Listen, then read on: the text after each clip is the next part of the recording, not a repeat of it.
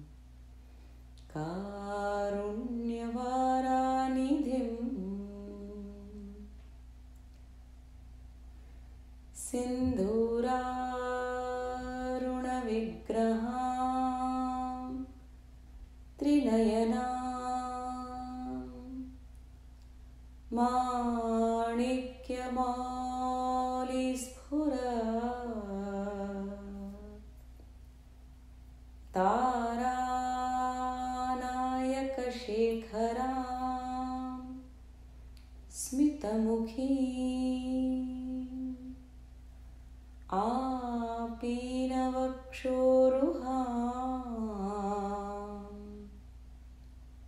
पाणिभ्याम् अलिपूर्ण रत्नचषकम्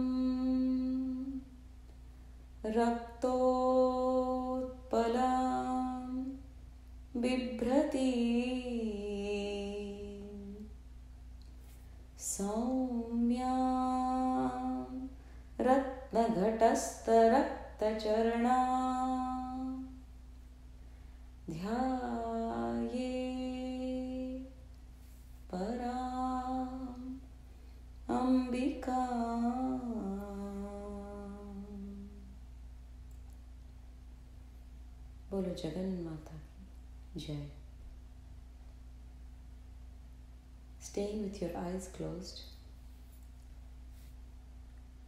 go ahead, breathe out and empty your mind and just be.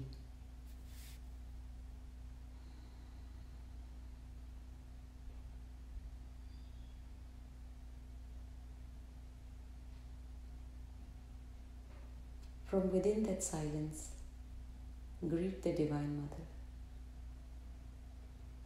Greet Swamiji and greet each other.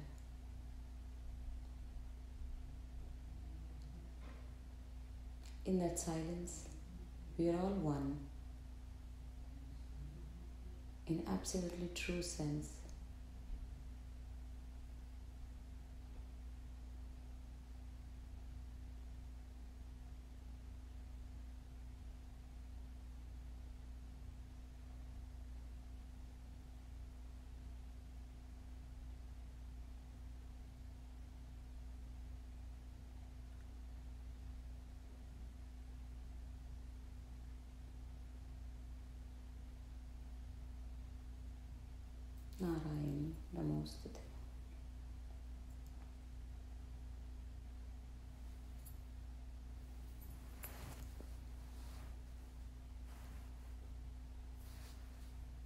So, as I was saying, that in that silence, we're all one. It's like the ocean with many waves on top, but on the bottom, it's all that same still deep ocean. On the top, there could be small waves, big waves, rough waves, tsunami waves, all kind of waves, all different forms. You can name them differently also. So the so this this entire world of names and forms know for a fact that there is there is a silent foundation upon which this entire manifestation arises. The entire manifestation is Shakti, is the Divine Mother, and the deep water, the, the still water, is the Shiva. And every wave that rises is Shiva Shakti combination. So everything that you see around you, including your own self, know for a fact the manifestation that you see is the Divine Mother. And the silence, the foundation upon which everything appears to be, is Lord Shiva. Nothing is an illusion. Divine Mother is as real as Lord Shiva. And Lord Shiva exists as much as the Divine Mother exists. So if you say only the manifestation is true, then you are negating the presence of Lord Shiva. If you say all this is an illusion, there is only one truth, then you are negating the presence of Divine Mother. They both exist equally. That is the Ardhanarishwar Swarup of the Shiva, which is Amba Shiva. Amba ke Sahit Parameshwar or Lord Shiva. Or Lord Shiva along with the Divine Mother. So last week, the practice that we did of centering ourselves was to get introduced to Lord Shiva or was to feel the presence of Lord Shiva be beyond this manifestation. So today,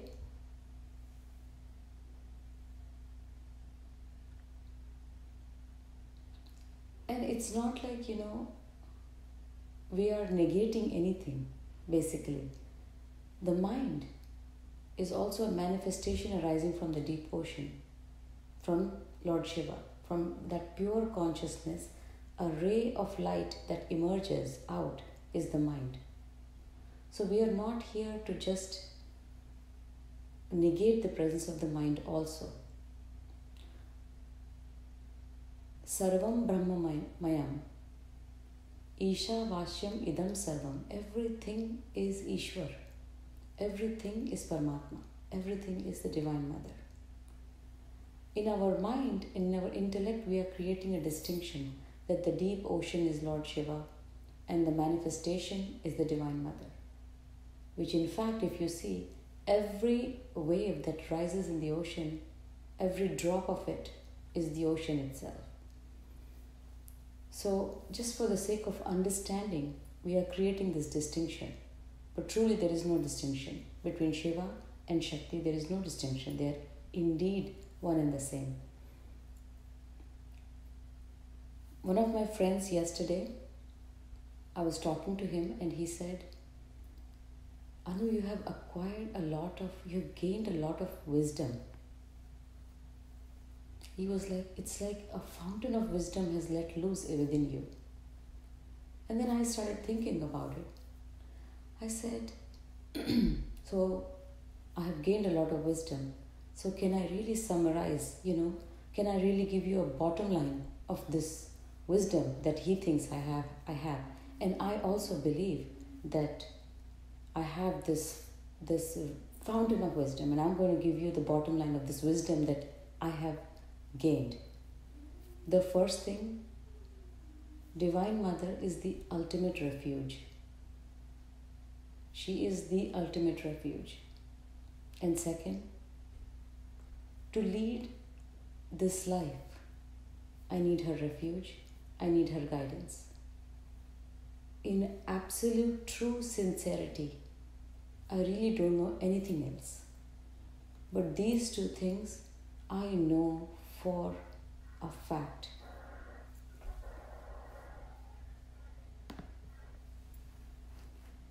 So, whatever he meant to say is what he meant to say.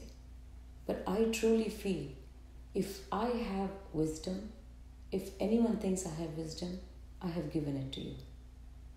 Divine Mother is the ultimate refuge. And to lead this life, to get constant guidance, you need her refuge. You need her. Apart from this, I truly don't know anything. As I lead my life, as life opens up moment to moment, I depend on her guidance for every little thing. For every little thing. From picking fruits to making life decisions, I depend on her. That is the ultimate knowledge that I have. That I, I need not depend on my mind and my intellect for anything. Mother is there lovingly guiding me in at every stage of my life, at every moment of my life. So, again, for the sake of the discussion, we are going to divide a few things. Let us take a deep breath and again center ourselves.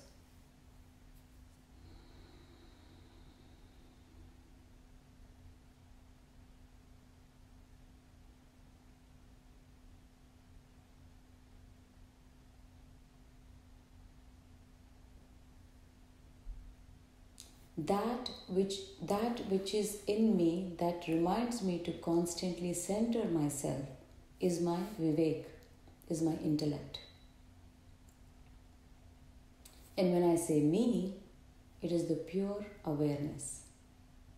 So let us let us understand this with an example.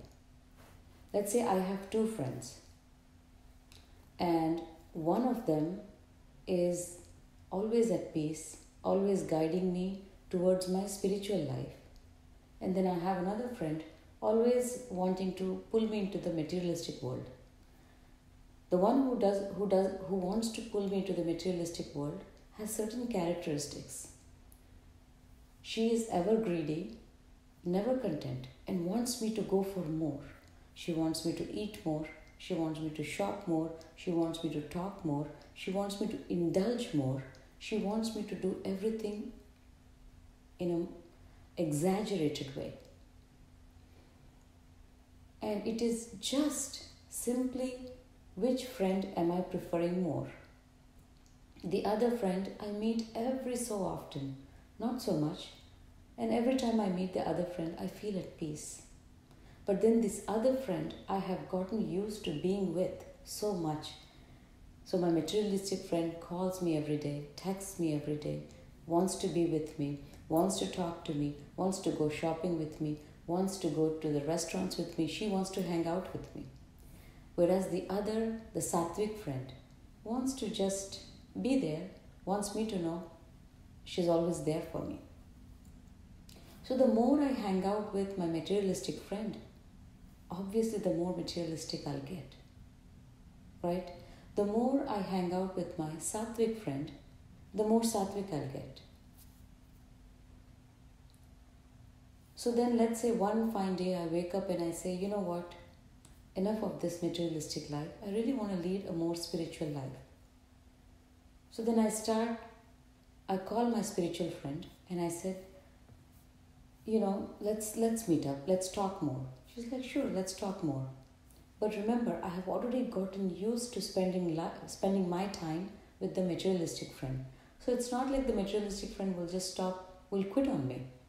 She will continue to call me, text me. Hey, what happened? Are we meeting up? Are we going out for lunch? Are we meeting for shopping? Are we doing this? Constantly, she will try to text me, call me. First few phone calls, I'll be like, all right, yeah, I'll do it. But then inside, I really don't want to do it. But then I'm like, you know what? That's fine. She's going to feel bad. Let me just go. So one lunch I go, one shopping I go. And then she said, okay, let's meet up in the evening because I want to show you something new stuff that I got. And you really want to say, mm, you know what? No, I'm meeting my Sattvic friend, but somehow you're dragged in.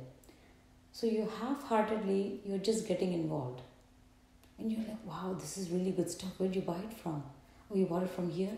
Maybe I'll go there tomorrow you know, you have these vrittis rising in you. And then again, one part of you says, no, I really need to lead a spiritual life. I want to meet my spiritual friend. so the next day you make up your mind, today I'm going to spend more time with my spiritual friend. So here you are spending time with your spiritual friend. While you are spending time with your spiritual friend, your phone is buzzing constantly because your friend is like texting you, calling you. Come on, where are you? Let's go ahead. Meet up for lunch. Let's go out. Let's go shopping. And then you're trying to ignore those phone calls, trying to be with the sattvic friend, but you're not able to be with the sattvic friend because the pull from the materialistic friend is pretty, pretty strong. This goes on, and you slowly start ignoring your materialistic friend. And the materialistic friend gets it. She's like, okay, this person is ignoring me. I really need to get back because this is the only friendship I have. So then you know, it's it starts again. So the friend is calling, texting, you're with the sattvic friend or the spiritual friend, and slowly, you know, slowly you're spending more time with your spiritual friend and your materialistic friend. You're you're not meeting as often because you're coming up with good reasons. Oh, I'm busy today. I'll meet up on the weekend. I'm busy tomorrow. I'm doing something. I have some stuff with family. I'm busy with work. So the friend is realizing that you're starting to ignore. And then slowly you start to spend more time with the spiritual friend, and the materialistic friend really gets ignored a lot.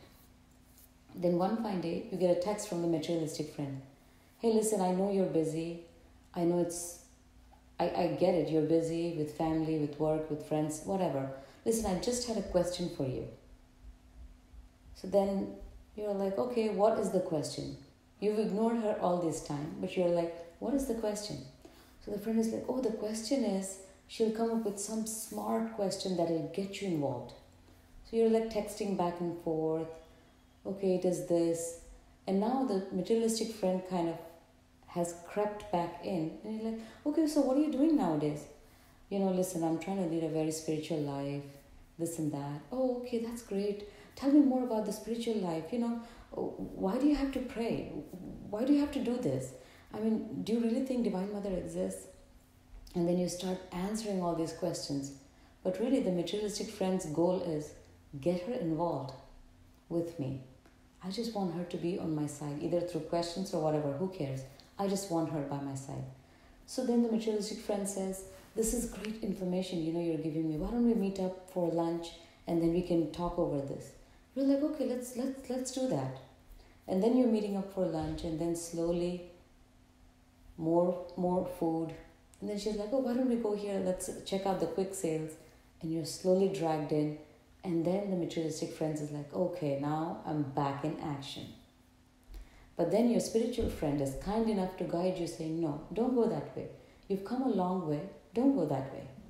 Then again, the ignoring begins. You ignore that materialistic friend for a while and then one day, the materialistic friend again messages you saying, I'm feeling really low today.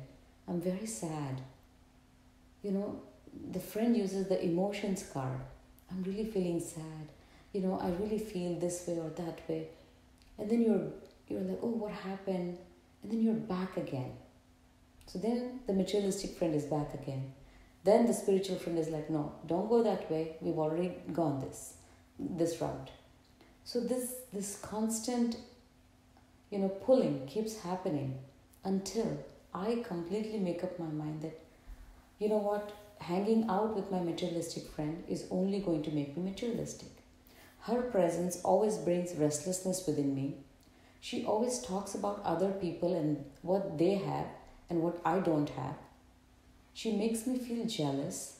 She makes me resent other people's success. That is not how I want to be.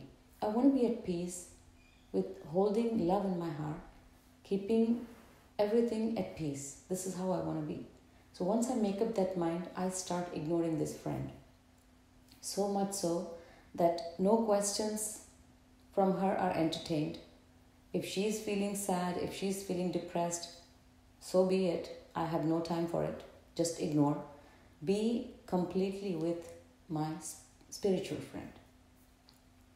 So, although you know this story is, you're like, we're not kindergarten kids here, you're telling us this story, but this is exactly, this is exactly how the mind and the intellect play. Intellect is the first gift given by the Divine Mother to us.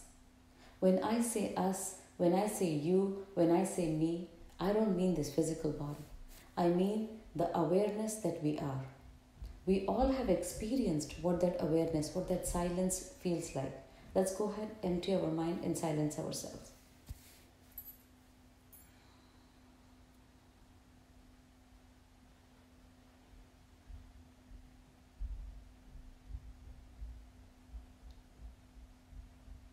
That is your true nature.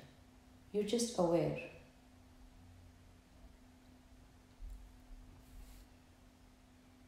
For a second, become aware of your body.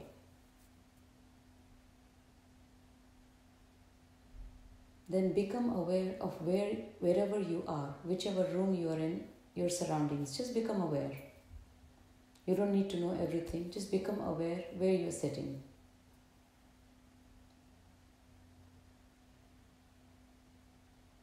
Then become aware of what your mind is doing.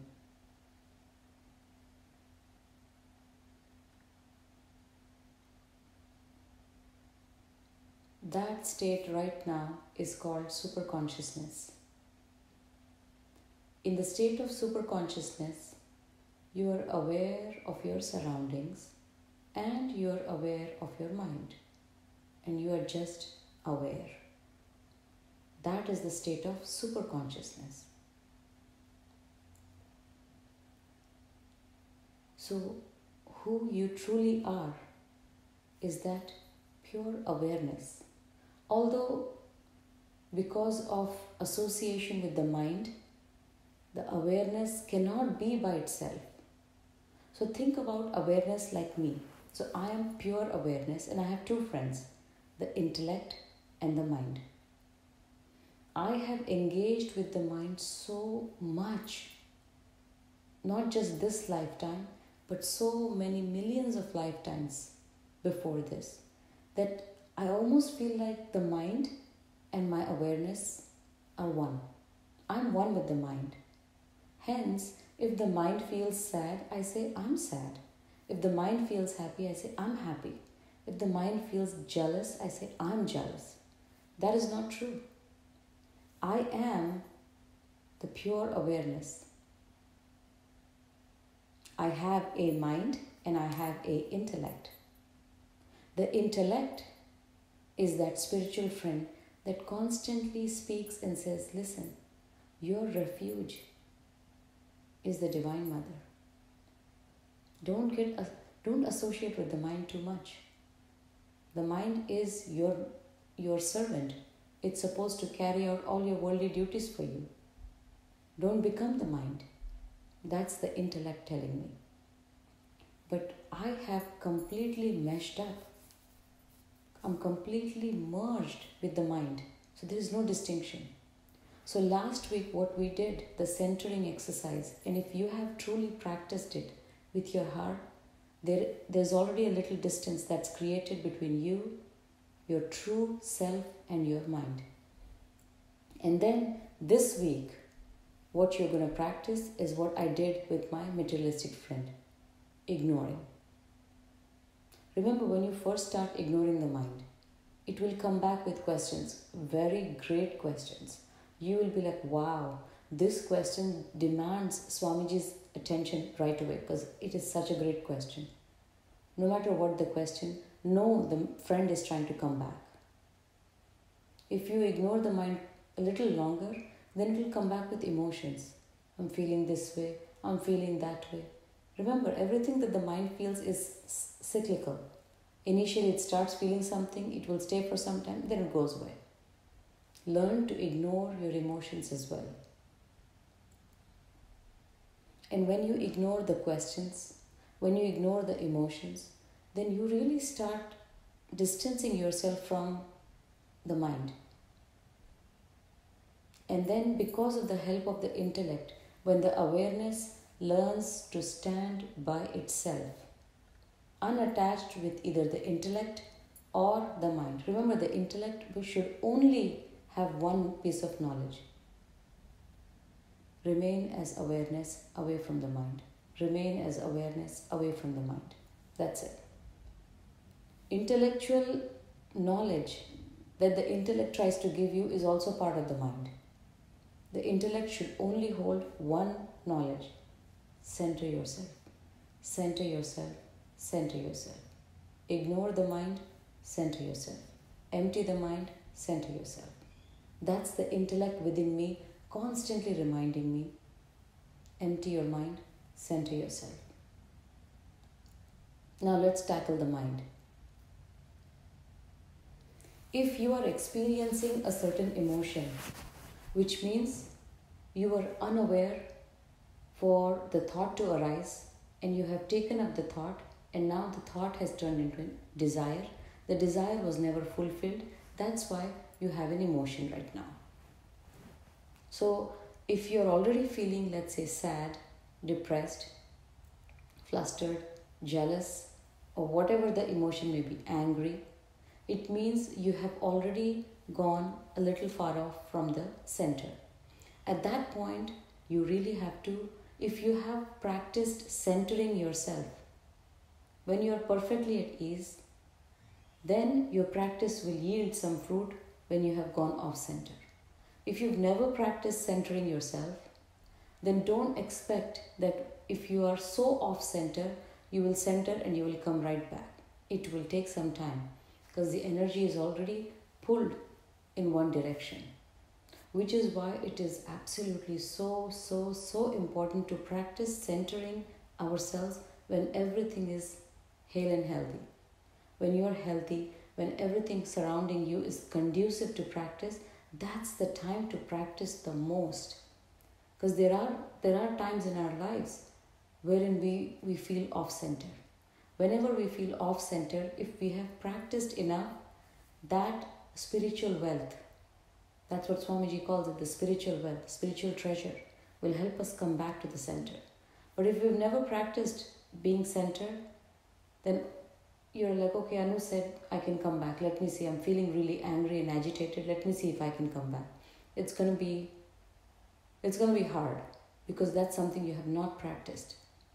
So although it seems like such a silly practice to do, breathe out, center yourself, it is the most potent practice because you are willfully remaining as pure consciousness or pure awareness. You are willfully detaching the mind from from your awareness. Because awareness mixed up with the mind is bondage. Awareness standing by itself is mukti. Wherein the mind, the contents of the mind, don't make you go up and down. If the mind is empty, clear, only then the divinity will shine forth. So, for your pure so, and that is the whole esoteric meaning of the picture wherein Lord Krishna with the five senses and Arjun in the back. So, Arjun is our awareness, the Jivatma, our awareness. Our awareness, if it's standing alone, it's one with Paramatma. Our awareness covered with the mind is darkness. So the mind needs to be detached, detached, detached. And the way to do it is ignoring, ignoring, ignoring the mind. We all are so good at ignoring people. We all have ignored people sometime in our lives. We've all had some person who is just a real pain, and we've ignored them. It's just like that. Your mind will come up with great questions. Ignore. Trust me, they're not important. None of those questions are true. As I said, it's not like bhakti ki parakashtha. The ultimate state of bhakti is you will have no questions. You will be left with exhaustive amount of answers, but there will be no questions. And that state comes by first ignoring the questions of the mind. Oh, I have a question about ignore. Oh, I think, what about ignore? Don't even let the mind complete. If it has already completed, just tell, you know, I don't know. You can figure it out yourself. But this hankering after answers, that's when the game is on. That's when the friend is back. Just think about it that way. Just a friend that you want to really not hang out with keeps coming back.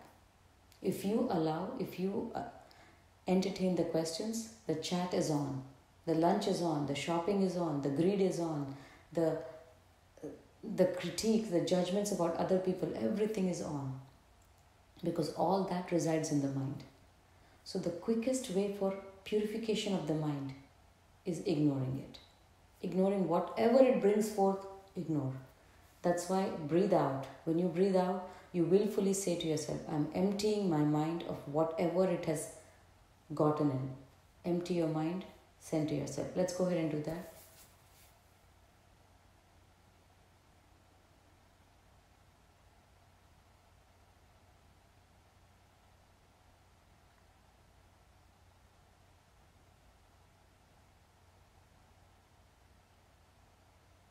Be aware of where you are and be aware of the mind.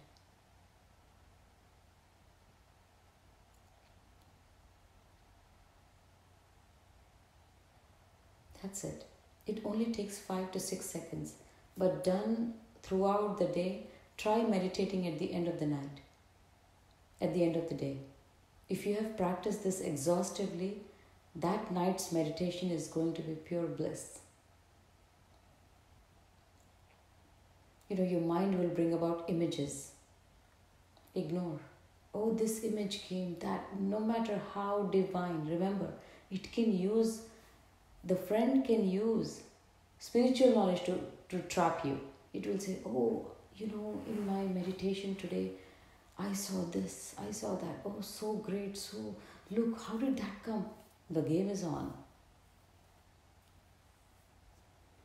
The mind's games are so subtle, you have to be astute, you have to be extremely aware to know what's going on. And that comes in stages. It's not like right after the satsang you will know exactly what the mind is doing. Sometimes you'll catch the mind after you have caught on to a thought, gone far beyond with that thought, and now have ended up in an emotion, which is okay. Know that you're off center. All that needs to be done is being aware. Awareness is like that lamp of light. No matter how dark that room has been and for how long it has been dark. It doesn't matter. You walk in there with light, the room is lit. Awareness is just that light. The light doesn't have to do anything. Once it enters the dark room, the light doesn't have to stretch it arm, its arms, start spreading the rays here, there. It just has to be. So know that there is nothing that needs to be done. You just have to be aware. Just be aware what the mind is doing. That's it. You don't have to act on it. You don't have to chastise yourself. Oh, I can't believe I'm thinking so much. The game is on.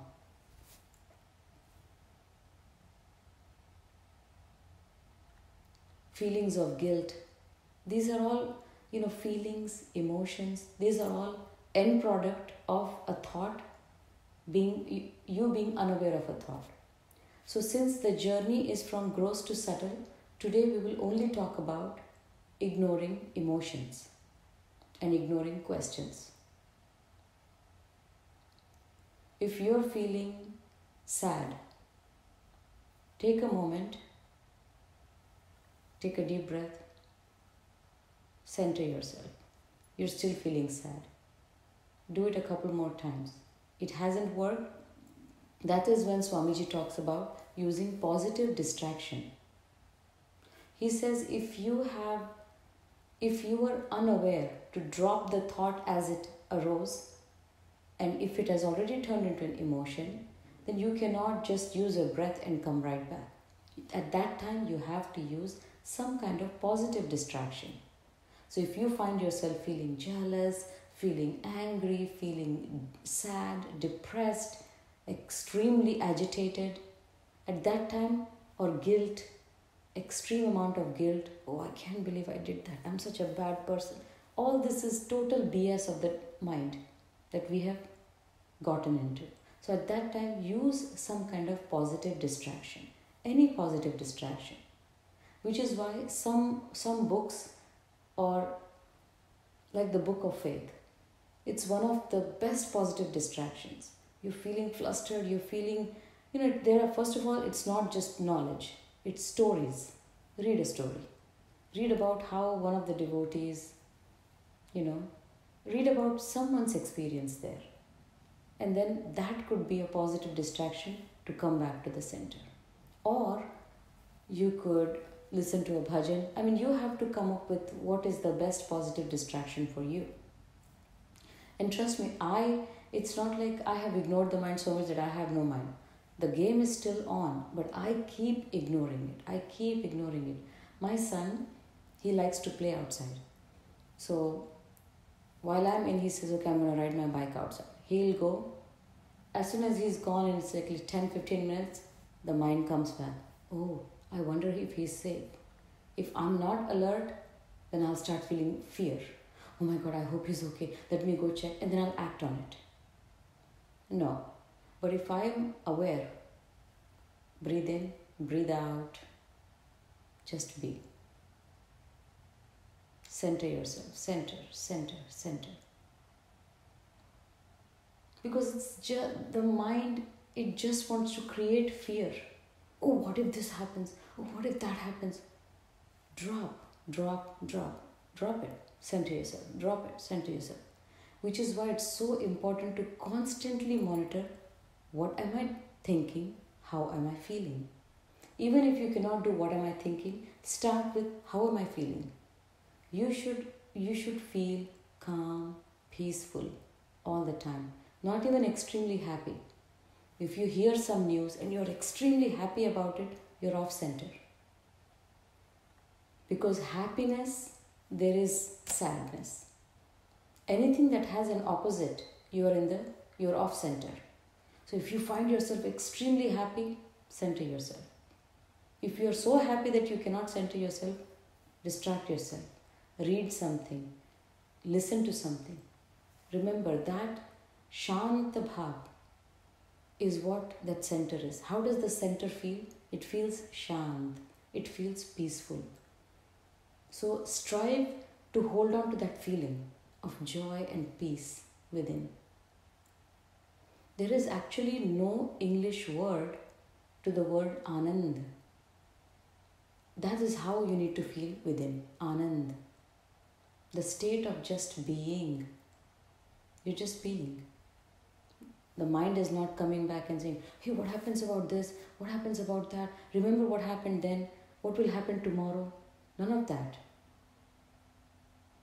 So know that the mind, the friend wants to come back to you. The friend wants to be your best friend. But this journey that you have taken up, you have to you have to just be. And the intellect is your best friend, constantly reminding you, hey, drop the mind, center yourself. Drop the mind, center yourself. So when you hear from within, let's center ourselves, know your intellect is rising. All these days you were never listening to the intellect, but now you started to listen to the intellect. Empty your mind, center yourself. No matter what kind of BS is going on in the mind, know for a fact it's not important, it's totally untrue, it's not relevant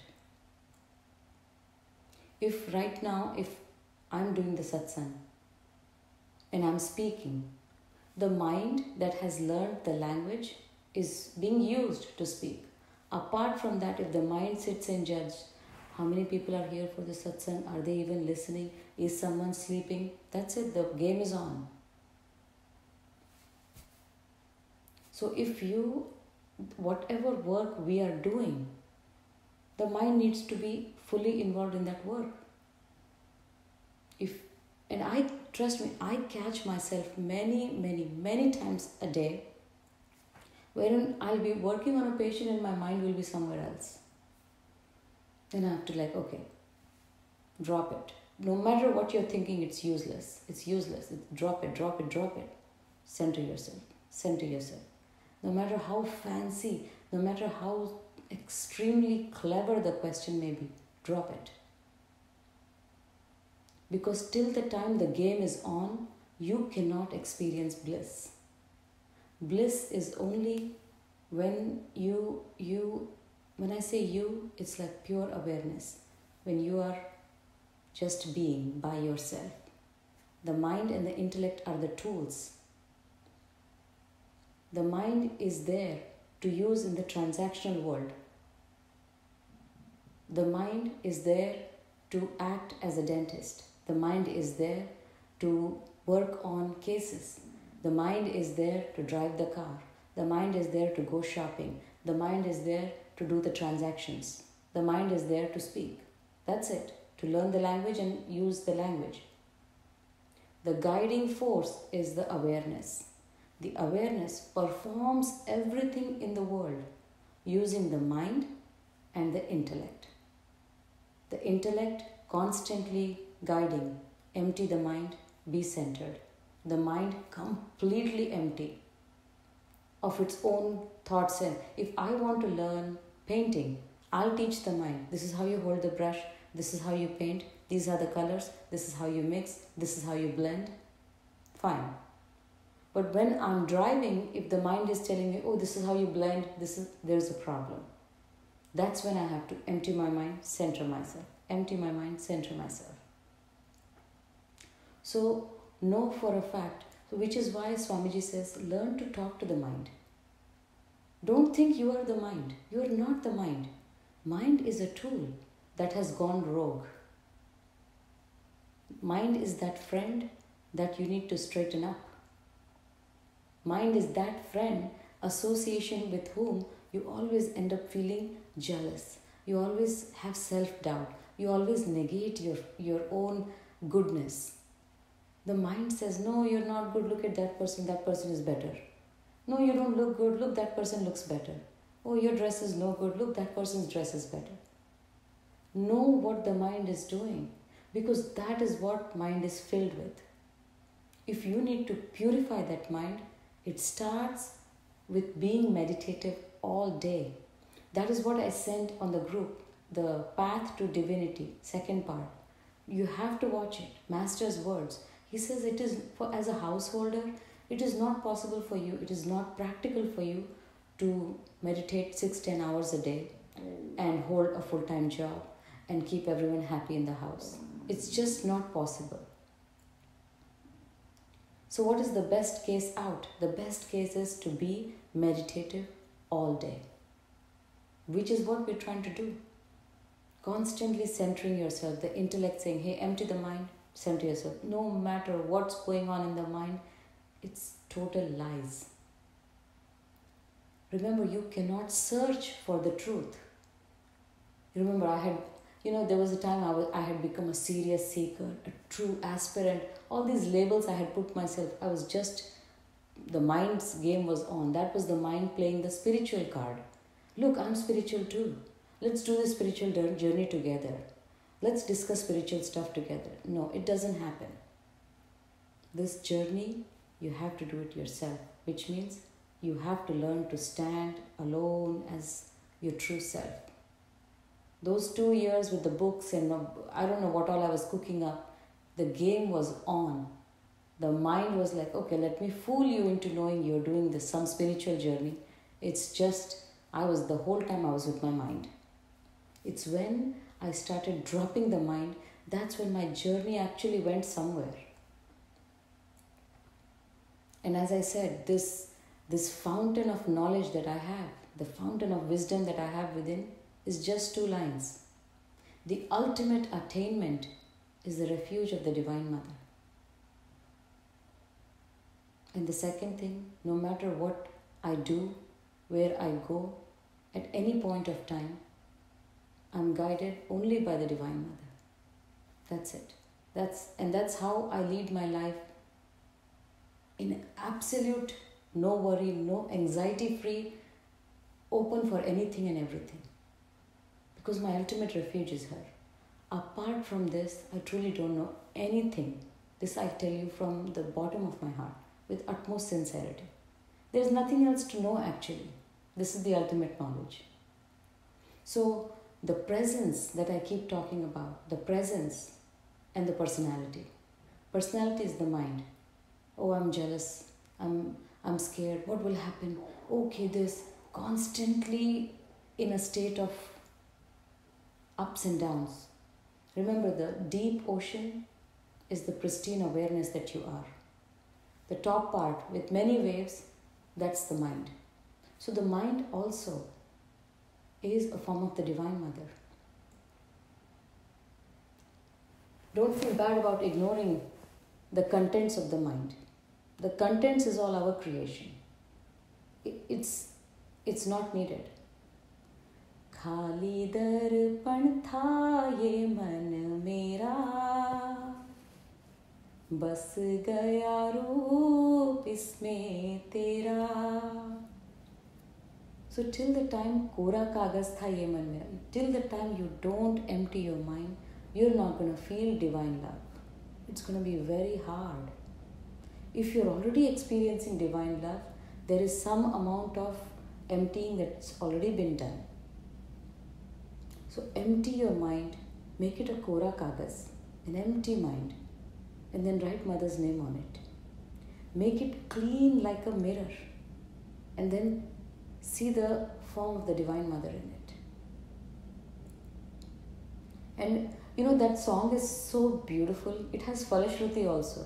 What happens if I make my mind completely empty? What happens if I make my mind clean as the mirror? Then it says, कोई दुश्मन था ये मन मेरा बन गया मी जाके तेरा it Was it was an enemy and now it has become a friend. So we have to we have to learn to ignore the mind. And this only comes when you take it up as a mission for the next 7 days. You constantly have to ignore ignore ignore. Initially you may not be able to catch thoughts because they are very subtle when a thought will come, when you will catch on to that thought, when that thought will eventually become a desire, and when you will act on it but not get the result, then you'll end up in a in a in an emotion. My by then you might be able to catch up to it. Okay, now I'm feeling I'm not feeling peaceful, which means I'm off center. So it's not important which thought you caught on to and how you reached there. It doesn't matter. Know for a fact just being aware that I'm off center. At that time, you can use japa, you can use prayer, you can use books, you can use bhajans, you can use songs, you can use comedies, whatever it is, bring yourself back. Bring yourself back. You know, I watch, um, I follow this thing on Instagram, it's um, Seinfeld it's just comedy. It's a comedy show. And if there were times when I used to be far off from the center and nothing used to work, then I would just play one of the episodes, watch, laugh, laugh, laugh, and then before I knew it, I was back in the center. So use whatever it is that may work for you. Don't try to use spiritual knowledge at that time, it might not work because the mind is already agitated and is like, I don't want to listen to any, your spiritual friend at this time. So use whatever it is that you can use. Just two things. Center yourself as much as possible when you're peaceful. That's going to work the best. So when you're not at peace, you're able to center yourself. You know, the mind will use all kinds of cards to come back.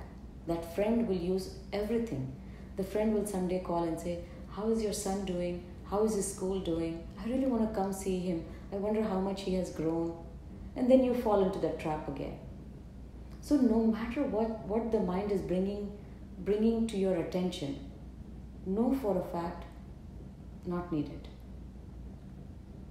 not needed you need to drop it be centered because the mother knows what needs to happen right right now later and what has happened in the past she is trikal trikaldarshi which is why three, she has three eyes which sees past present and future so that pure awareness is supreme intelligence being in that pure awareness you will know at any point of time what to do your mind need not come and tell you oh remember this happened last last week and then this is what you did Maybe this is what you need to do.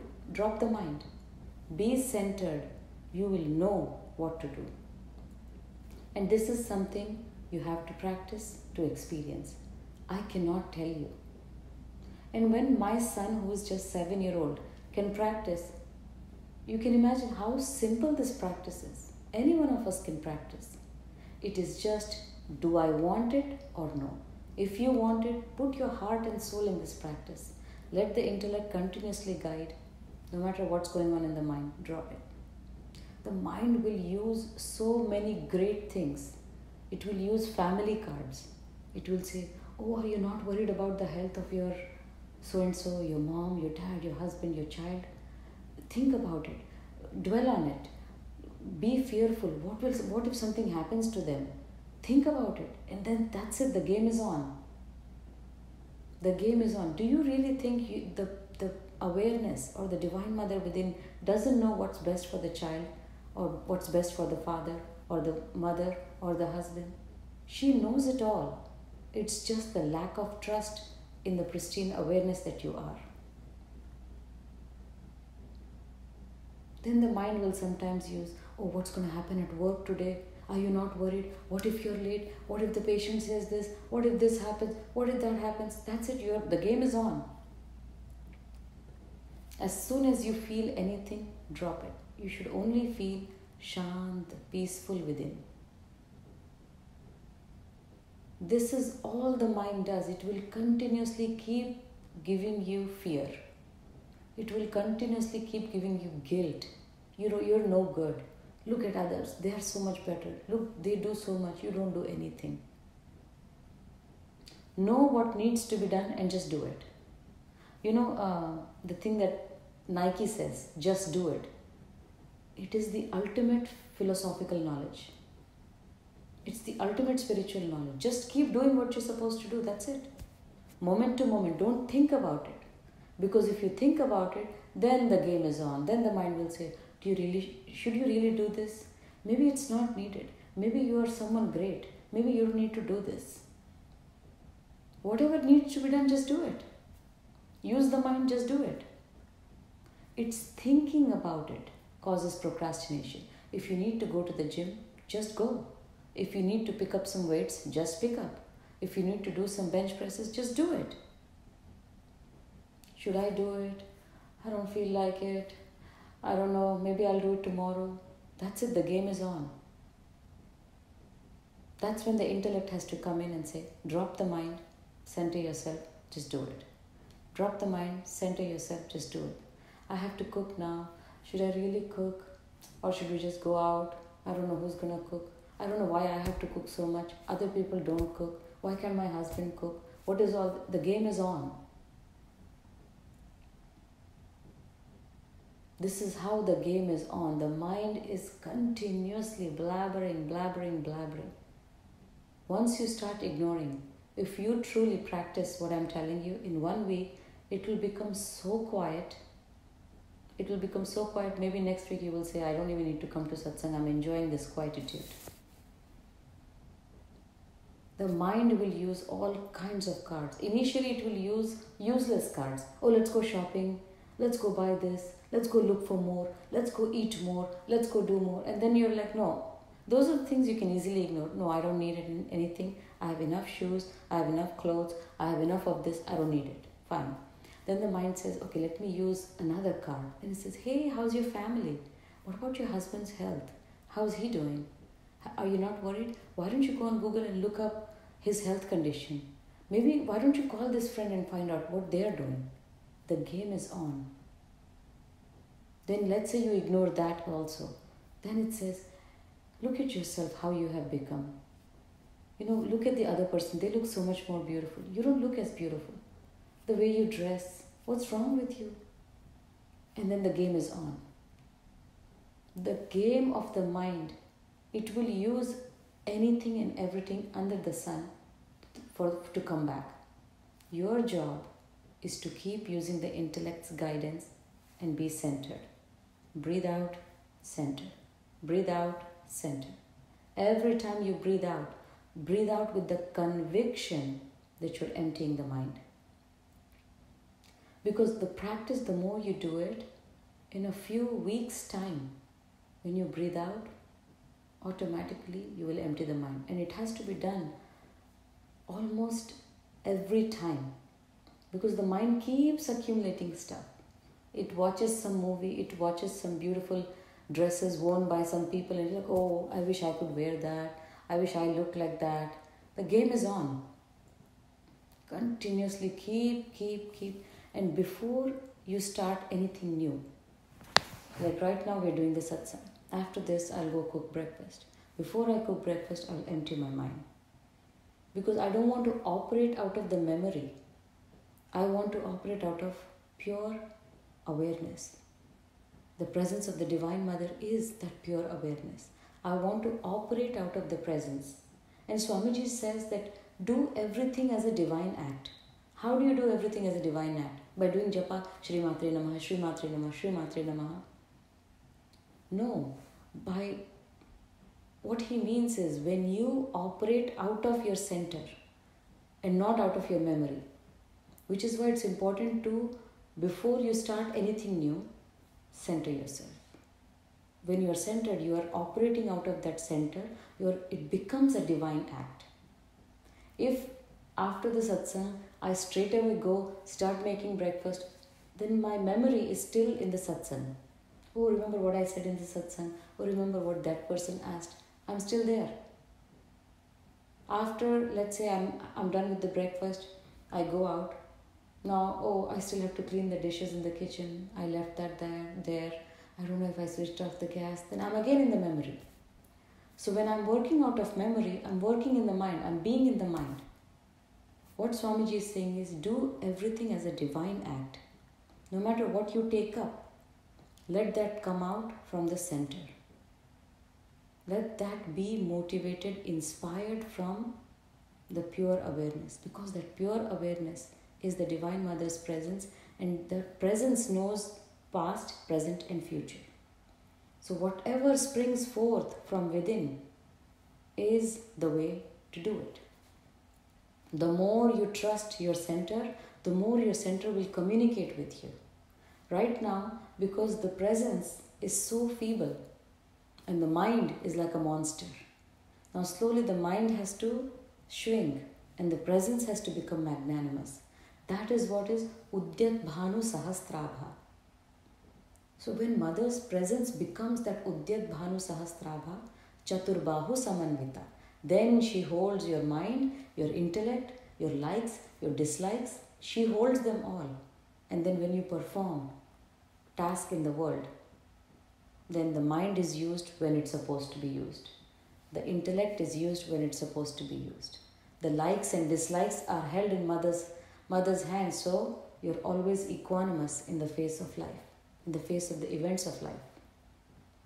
So, but it all starts with Udyat Bhanu Sahasrabha.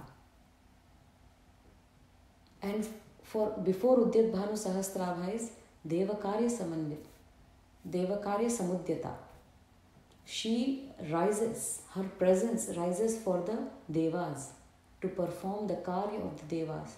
And to become the Deva, you have to be centered. So when you and I together get into this practice of emptying our mind, centering ourselves, emptying our mind, centering ourselves, she sees these efforts.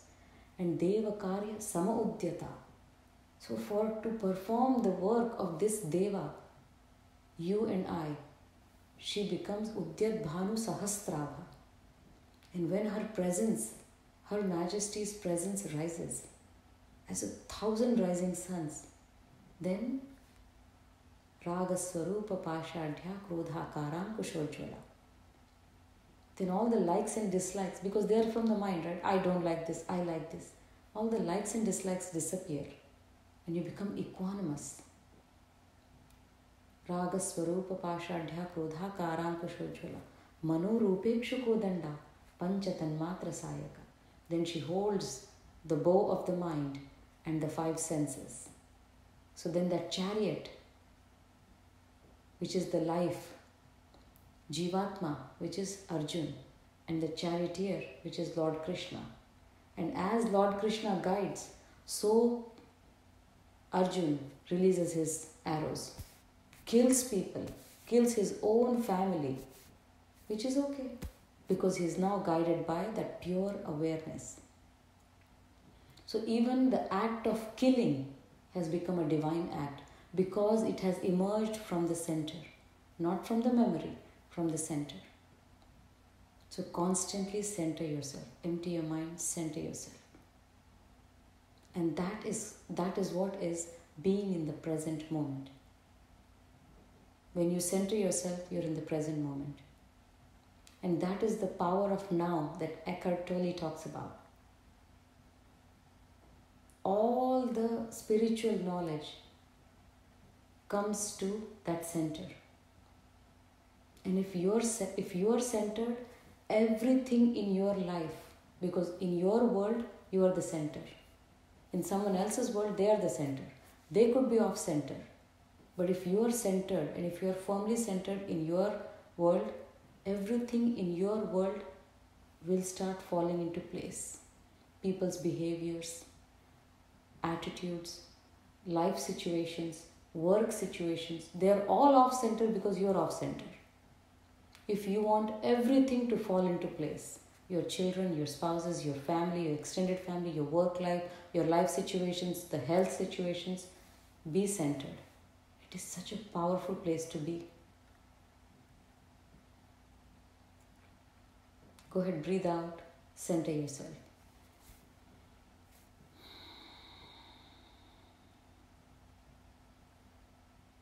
When you're centered, continue to breathe. Don't hold your breath.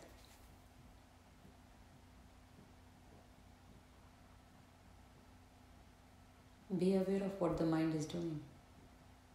It's probably not doing anything right now because you're so aware.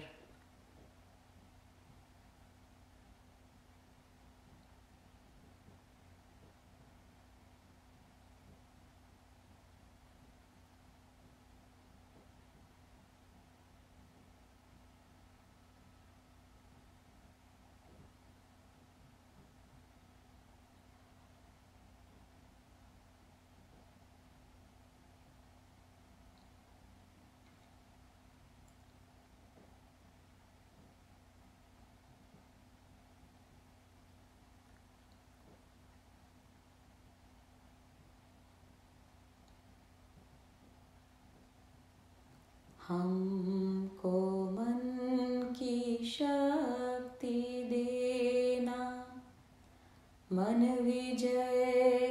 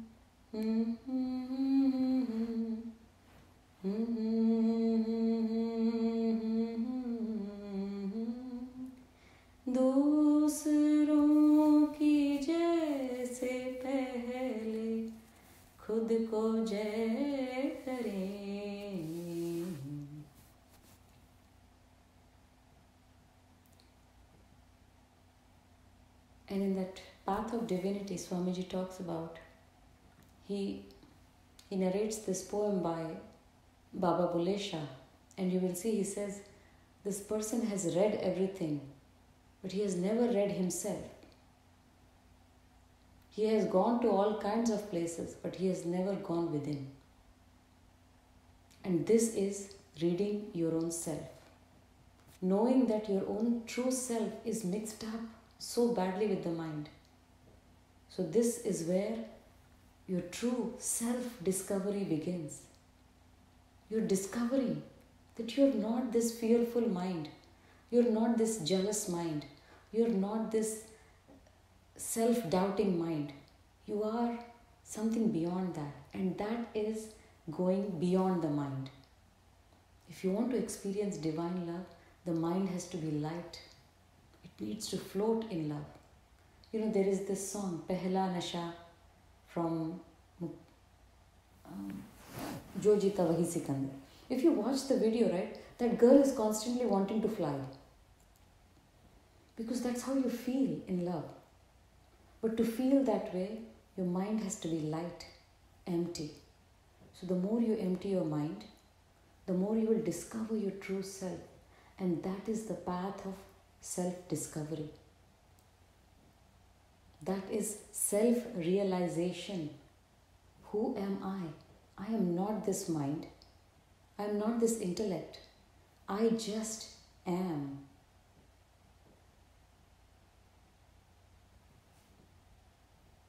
So instead of just focusing on 20 minutes in the morning, 20 minutes in the evening, do it all day. Experience this joy of being all day.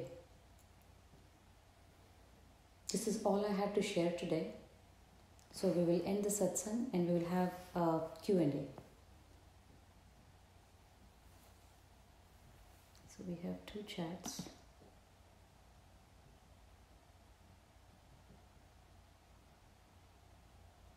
Oh, I'm so sorry. Echo हो रही थी आवाज़ we are about to move I think that's why पूरा सामान खाली कर दिया है anyway question and answer.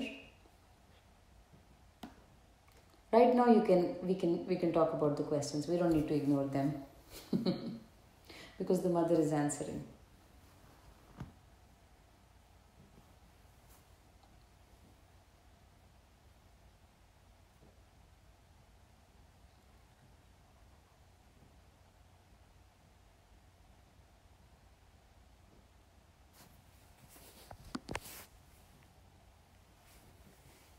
Rita, go ahead. and we are just, you know, like uh, in the state of just being, as you said. You know, there are some microseconds where you might be distracted by some kind of a subtle thought. So during that time, can we just hold on to mother's space or something to just prolong that state of, you know, neutrality? Uh, I don't know whether I That's a that's a great question. That is your mind coming back in action. Yeah, so ju- I mean, just to you know avoid that because that's a little easy for me to focus on mother space and you know ju- just prolong that. Well, like when you try to center yourself and within a few microseconds, you know, some way, some very big, very small, subtle thoughts, they just are there in the back of the mind, and you can make out that you know they're going to come up. So just to avoid that, like, will it be a good idea to do this? You know what? No, because avoiding is blocking. It's like, you know, let's say you're watching TV. I don't know, maybe I gave this example last time. You're watching TV, Arnab Goswami, many people screaming, headlines going off. Every let everything go on. All you have there are so many times you're in front of the TV, so much is going on, you're just not paying attention. You're just doing something else. So it's like that. Have the attitude that mind, no matter what you do, I'm not going to pay attention. I'm aware. I know you're thinking. I know you're bringing thoughts. I know you're bringing images. It's okay. After some times, remember, it starts with coarse thoughts. Then those coarse thoughts become subtle thoughts. Then subtle thoughts become images. Images eventually disappear, and then there will be nothing. It will come in stages. But if you try to stay if you try to empty your mind, center yourself, and try to stay there longer, word of caution, the mind will come back with some great ideas. Oh, how about we do this? Oh, how about we do that? No, that is not the goal of the practice. The goal of the practice is before you take up any new task, empty your mind, center yourself, continue with the task. Now, at the end of the day, when you sit down to meditate, at that point, you can do a little bit of just being, little bit of mantra japa, little bit of meditation on the form, going back little bit to just being, little bit to mantra japa and little bit to form. That's okay because that is seated practice. But during this practice, all you need to do, breathe out, empty your mind, center yourself for a few seconds, and then start your new task. Because what's going to happen with this is slowly over a period of time, and I'm not saying years or months, just days, your new default will change to the presence versus the personality. And then what you will experience is whatever task you take up gets completed effortlessly, gets completed peacefully. The people you interact with become peaceful. There will be no more clashes. And then what happens? You start making your life conducive towards meditation, towards self realization. Because right now, the life situation is not conducive people are angry at you you are angry at people people are not doing their work you know things are not happening as planned so that is a very unconducive environment for you to meditate at the end of the day or for your self discovery so with this practice we don't want you to be there for a long time. We just want you to enter into multiple tasks which could be con- new conversations texting cooking between patients. You're just centering yourself and you're operating out of that center to be guided to lead your life in a conducive way so that everything everything happens smoothly for you effortlessly. So when that happens most of the friction that happens during the day is disappears so most of the time your energy is conserved because we lose so much energy just leading our day to day life that we have nothing left to send up the spine so this practice is to bring bring your day into a very smooth, flowing river. So your energy is stored up. So at the end of the day, or at the end of seven days, or at the end of 15 days, or at the end of six months, if you decide, let me try today meditation, you have this potential energy stored up that you're able to break through. Does that make sense, Rita? Thank you so much. That was wonderfully answered. Perfect.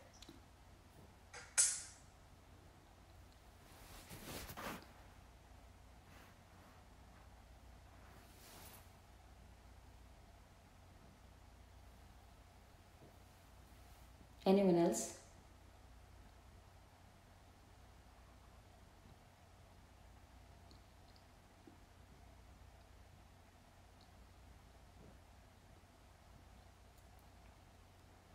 Any question you may have, just go ahead. I mean, Rita's question was really, really beautiful. So don't think you need to drop the question right now. Right now, we need to speak about the questions.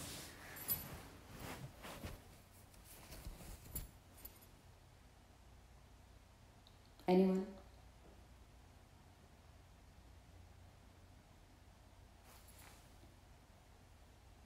We have someone. Thank you, love.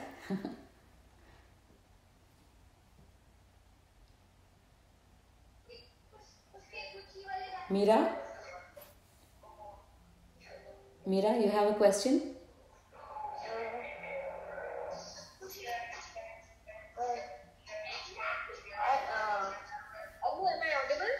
Yes, you are.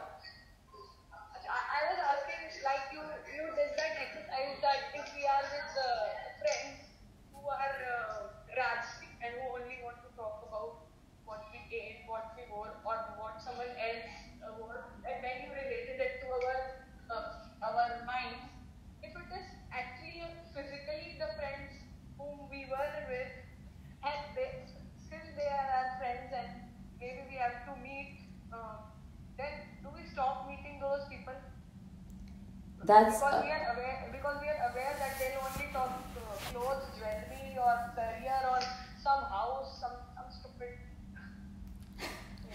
good question, Mira. Good question. And let me tell you that question is coming from the mind, right? What should I do with these people? Should I drop them or should I not? Trust your center to guide you. योग रतो वा भोग रतो वा संग रतो वा संग विहीना यस्य ब्रह्मणि रमते चित्तः नंदति नंदति नंदत्येव so you might be at the mall shopping with them. If you are centered you are centered. Before going to the mall if you were centered you had a choice. Do i want to go or do i not want to go? Let's say you didn't exercise that at that time and you went. Now you're at the mall. They are going crazy buying stuff. You know your closets are already full of stuff but you are centered. Let the center guide you what to do. There is no rule that I can tell you, okay, Mira, if you have materialistic friends, ignore them all, delete them from your phone. That's called a, a very um, dogmatic view. But the presence is not dogmatic. The presence is so flexible, like a flowing river. No matter where you go, let the presence guide you what you need to do. So, whether you are with your satsangi friends, your professional satsangis, or you are with your uh, materialistic friends at a mall, the key is to be centered because that center can guide you whether you are in a satsang, whether you are in front of Swamiji, or whether you are with friends, with friends at the mall. So the key is be centered before you pick up the task, be centered, then you have a choice. And that's why ultimate awareness gives you ultimate freedom. Little bit of awareness gives you little bit of freedom. A little more awareness gives you a little more freedom. It all depends how much freedom you want. You want ultimate freedom to decide who you want to be, how you want to be, who you want to hang out with, become like Swamiji. Ultimate freedom. He chooses how he wants to be, who he wants to be, who he wants to meet, what he wants to speak. There is no bandhan you and I, on the other hand, have some freedom because we have a little bit aware. So keep increasing. Let that center engulf your entire world. Everything will fall into place. The friends that need not be there in your world will drop off automatically when when you are centered strongly. Your family and their behaviors will become conducive for your sadhana your work environment will become conducive towards your sadhana. It all starts with you. When I say you, you, me, everyone, that's what I meant. So it all starts with being centered. The more centered you are, that center is not a is not a hole. It's the whole. It's not H O L E, it's W H O L E. So that center is is whole. So experience and practice that center many, many, many times during the day. And then one fine day, it will all be dropped off. And trust me, I had such friends who were dropped off, who I was with for 20 years. And then one fine day, just dropped off. Now we hardly meet, we hardly talk, and it's all good. But if she comes and if I were to meet her, we're still good friends, we still talk, but the center always guides what, what needs to be said. We have one more question here. When we drop everything, is it okay to feel stupid? Oh, it's the best. It's the best feeling to be. Uh, Ram Prasad Sen was a devotee of Ma Kali. He has a poem that he wrote and he says, Oh Ma, I have lost my mind. It starts with, Oh Ma, I've lost my mind. It's the best feeling. You know, a child, we think the child is stupid. Don't do that stupid stuff. What are you doing? You're being stupid. Because we think we are smart. The child is just being. The child's mind is not developed. He's just being. So it's perfectly, it's, it's the most blissful state to be. To feel that, oh my God, I've lost my mind. And I keep joking with Rita all the time. You still have not you still have not lost your mind. It's the best thing. And I really hope and wish and pray that all of you lose your mind very soon. You can also type the questions in the chat window if you don't feel comfortable asking.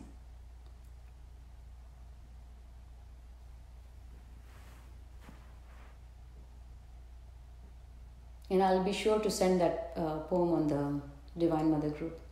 Oh, Ma, I've lost my mind. Anyone else?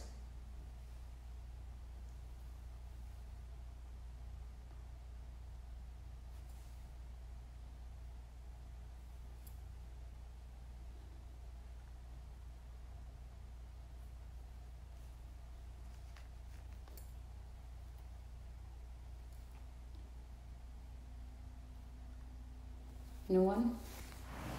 Okay. So let's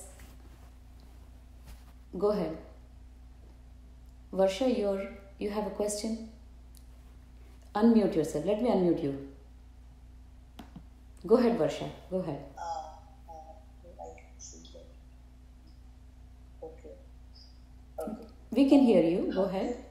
Uh-huh. Thank you. Thank you, Anuji. Uh, thank you so much. Uh, how to deal with uh, the same question uh, earlier asked someone, uh, like how to deal with very cunning people in job place or in home, like um, who cook one like uh, uh, cook or they are very planning, plotting, so many things. Then um, um, to deal with them or how to uh, get centered. I got your It's very question. difficult. I got I got your question. Ha ha. Thank you. So the question is how to deal with cunning, plotting, scheming people who are constantly जिसको हिंदी में बोलते हैं षड्यंत्री you know they're constantly uh, cooking up something against you they could be either part of your extended family Yeah. at your workplace so how to deal with them So the answer lies in the question how to deal with them. Do you really want to deal with them varsha? First question. Uh, okay? some um, so hear me out first okay? Mm, mm, mm, if you say yes anu i want to deal with them then know that if you are centered let's say two people are having an altercation right? It's personality versus personality. Okay If there is personality versus presence the altercation ends automatically because there is no one to fight with. So when you are centered and when you become the presence when you are guided by the presence the personality in front of you might want to plot and scheme and cook up something against your personality. But at that moment you are in the presence. There is no personality to fight with Remember, these things are not like magic. They're not going to happen in a day. But if you trust the presence, because these people who are cunning, scheming, if they're part of your family or extended family, they're part of your world. It's going to take tremendous amount of presence to melt their personalities. And that's the first thing.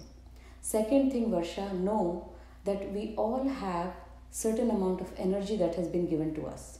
Let's say when I wake up in the morning, I have 100 points of energy, right? Now, that 100 points of energy has been given for me to use it the way I feel I feel like using. If I use 50 points of that, that energy in dealing with, because that's what I've made the choice. I've made the choice, I'm going to deal with these people who are planning, scheming, plotting against me. I'm going to fall into their trap, feel bad. I'm going to be like, okay, what can I do in return? So I have decided to deal with them. So 50 points of my energy I have used for to deal with them. After dealing with them, it's exhausting dealing with such people. Another 25 points are used in feeling in making myself feel okay then i'm left with 25 points but still i have to do my worldly work so i'll, I'll do my cooking whatever you know working by the end of the day i'm exhausted now who wants to sit for meditation and japa i don't because i'm exhausted so it's about this is one day the second day i wake up and i say i have 100 points of energy how do i want to use it do I want to use it for my own self discovery? Or do I want to use even one point of this energy towards these people? And I said, no, I don't want to use any energy for these people. They can be who they choose to want. They can be who they choose to be. They can be how they want to be. It's up to them. My choice is constantly breathe out, center, center myself. Breathe out, center myself. Whatever I need to do, I'll keep doing. I'll try to avoid interaction with them as much as possible. Bare minimum I'll do because I'm still a sapling. I'm growing. I need to put a fence around me so I can grow into this tree. Once I'm a tree, I'll give some shade for, for them to experience the joy of being. But right now, I'm a sapling. I need to protect myself. So we will always be surrounded by cunning, plotting, scheming people. I was too. And then one fine day, it dawned on me what the hell am I doing with my energy? Using it to, to tackle these people when there is no need to tackle these people. You know, they say how to deal with stress. Do you really want to deal with stress? Just drop that damn stress and be joyous. Why you want to deal? When you say how to deal with these people, it says some part of you says, I want to deal with them. I say, why you want to deal with them? Take a hard look at your day and see how much you can cut down. How much ever you can cut down, cut down. How much ever you cannot cut down, deal with it being in the presence. And then one fine day, you will know that you're not dealing with them anymore. You're so involved in your own self discovery, their presence. Like, for example, right now, Meera was speaking. While Meera was speaking, we were all intently listening to Meera but there was some background noise going on, right? What did we do? We just ignored that background noise and listened to what Meera had to say. It now it is it is like you know saying, No mira stop all the background noise. I don't want to hear it. Well, that's your choice. What do you want to hear? You want to listen to mira's question or do you want to listen to the background? It's totally your choice. So first thing, make up your mind what you want to do. Do you want to deal with these people? Because these people have a board written on, the, on their heads hum nahi sudhrenge do you really want to use your, your energy for these people No. No. So then comes how to deal with them right? The, de- the way to deal with them is like ignore. People are planning scheming against you at work. You know what you need to do at work. If your job for example let's say is to take these boxes from this aisle and put them in that aisle that is your job. Varsha, you know your job at work is to take these boxes from this aisle and put them in that aisle. In between, someone is scheming, someone is dropping a box on you, someone is doing this, someone is pouring some water so you may slip and fall. Be careful and keep doing your work. Focus on what you need to do because it is all about you, it is not about them. So, focus on what you need to do at any moment and do it while being centered. Ignore them, ignore them, ignore them. It is not worth your precious, precious energy. Your energy should be for your self discovery. It is such a great blessing that you have a human body. It is yet another great, great blessing you have a Sadguru in your life. Yes. And it is the greatest blessing that you want to know your true self. With this three deadly combination, you can tackle anything or anyone. So you are just taking boxes from this aisle, moving it to that aisle. In between, they are spilling water, you're walking carefully. In between, they're throwing more boxes, you are just dodging them. Do what you need to do, conserve your energy while walking this path of self discovery, centering yourself constantly. Yes. Varsha, did that answer your question? And if it didn't, Yeah. please tell me. No, thank you so much. Thank you so much. All right, we have another question here. When we try to be centered, present, and guided, is it normal to feel distanced and not blend in in social settings? Absolutely, because social settings is all personalities. Bunch of personalities walking, chit chatting. It's like bunch of minds that you've tried to ignore. In other words, being perceived as if I'm boring to society. I'm the most boring person you're talking to, despite feeling contented within. It's not about others. It's about what how you feel you know uh, every time i go for presentations at conferences my husband always tells me anu you're very serious when you do presentations. Put some funny slides in between. It doesn't matter. Because he thinks i'm very serious. But you know the fun that i have you know the childlike attitude that i have gained by dropping the mind it's so much fun all the time. Before you know i was like oh i should not watch movies i should not watch tvs i should not do this because i'm a spiritual aspirant because i'm a serious seeker. All that blah blah blah bs none of that. Now i watch movies. Just last night we were watching mission impossible 5 you know watch movies. Now i watch movies go out do anything and everything I feel like, but that is coming from the center. So, yes, you will go through a period wherein you become boring because you feel like I've become a spiritual aspirant now. I'm a serious seeker. I'm a moderate seeker. I'm a I'm a great meditator. All these stupid labels you'll put on yourself, and you become someone else. And then slowly, this process, initial process of becoming boring, will eventually make you the most fun person. But till that happens, you have to protect yourself. So keep ignoring, keep becoming more boring, because from that boring boring depths will emerge this really fun, absolutely flexible person who is willing to do anything and everything to have fun. That's it. Yogarato va, bhogarato va, sangarato va, sangavihina. Whether you are in meditation or whether you are at the movies or whether you are at the dance club, you are yasya brahmani ramate chitta. You are, you are always centered and from that center you dance out of this being in the being in the joy of that center. You sing being in the joy of that center. You perform actions from that joy that springs from within. So, yes, you're going to be boring. Emotions, next question. Emotions are emotions are minds chat, chatting, but to being emotional for Divine Mother is mind's chat or its real emotion? Should we ignore it or should we flow in that emotion? That is the only emotion that's allowed. Let's put it that way. Um, and right now, those you know those emotions are also initially from pain of separation. Where are you, mother? I don't feel you. I don't feel your presence. Where are you? And I went through that. Those pangs of separation will make you cry, will make you wail in pain, and then eventually, those emotions will also calm down. Because then you won't feel the pain of separation from her. You'll feel her presence constantly.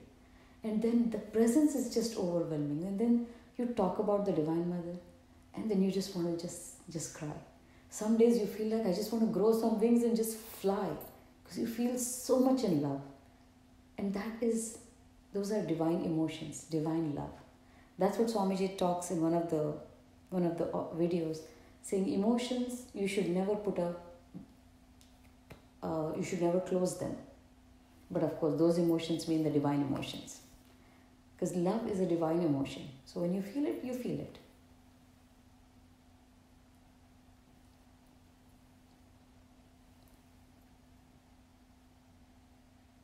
If I could get a summary of this session, the summary of this session is Mind and intellect are tools for you to use. Don't become identified with the contents of the mind and feel that you are the mind. If you feel sad, tell, My mind is feeling sad. I am aware that my mind is feeling sad, whatever be the reason, and center yourself. And how do you center yourself? It's as simple as you take a couple of deep breaths and you just be. And when you be, you just breathe normally. Before you take up any new task, center yourself. Take some deep breaths, center yourself. You never have to close your eyes for centering yourself. You can center yourself with your eyes closed. You can center yourself walking. You can center yourself driving. You can center yourself throughout a conversation many, many times because this is something happening within. Breathing in, breathing out is happening anyway. So when you breathe out, Let's say right now we are having a conversation.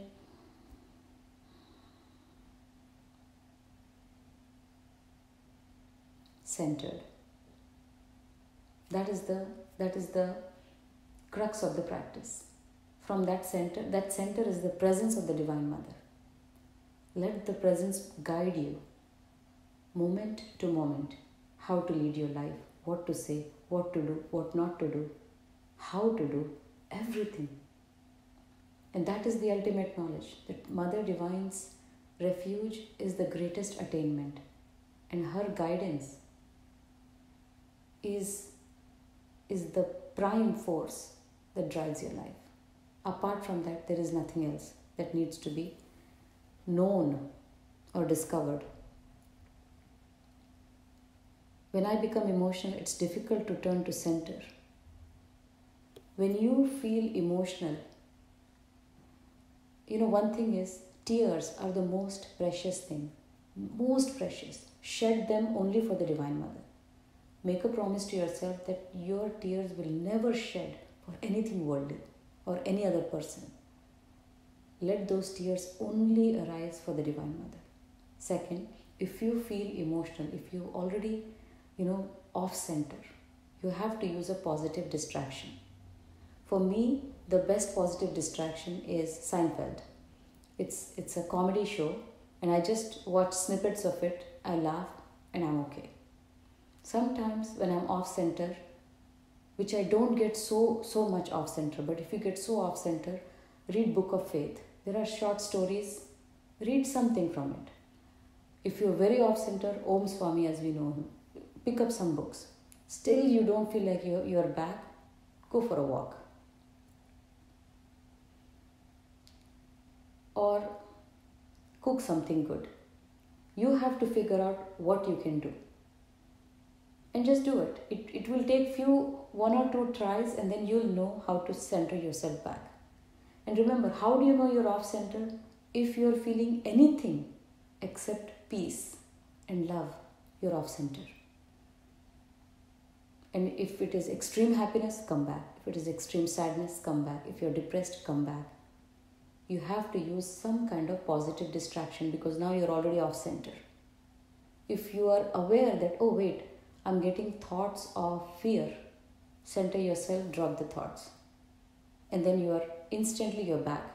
If you have already gone, you've taken up that thought train and you have ended up at some abandoned station somewhere, then you need to come back with some means. And at that time, you have to use positive distraction.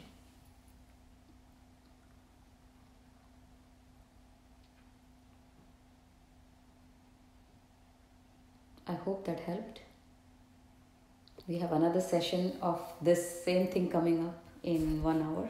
So I'll take your leave now.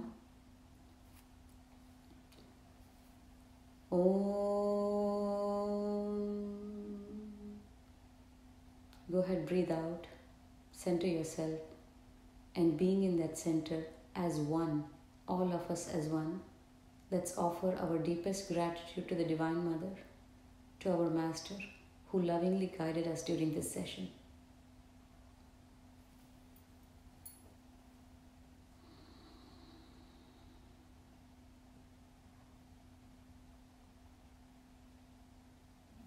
ॐ सर्वे भवन्तु सुखिनः सर्वे सन्तु निरामयाः सर्वे भद्राणि पश्यन्तु मा कश्चित् दुःखभाग् भवेत्।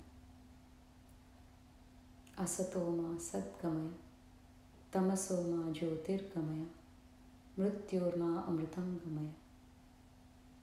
ॐ पूर्णमदः पूर्णमिदं पूर्णात् पूर्णमुदच्यते पूर्णस्य पूर्णमादाय पूर्णमेवावशिष्यते।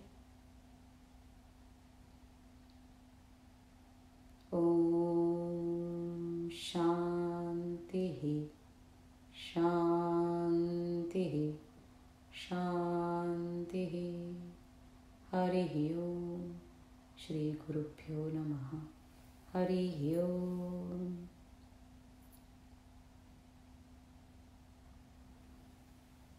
Thank you, Divine Mother.